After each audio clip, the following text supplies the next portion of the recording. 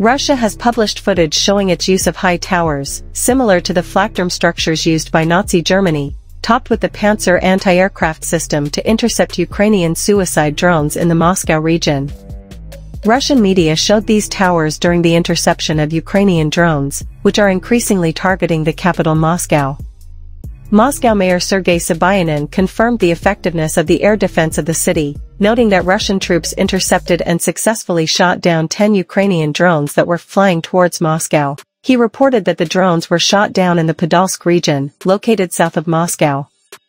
No injuries or damage have been reported, Sobyanin said, stressing the scale of the attack as one of the largest in recent times. Russia has published footage showing its use of high towers, similar to the Flakturm structures used by Nazi Germany, topped with the Pantsir anti-aircraft system to intercept Ukrainian suicide drones in the Moscow region.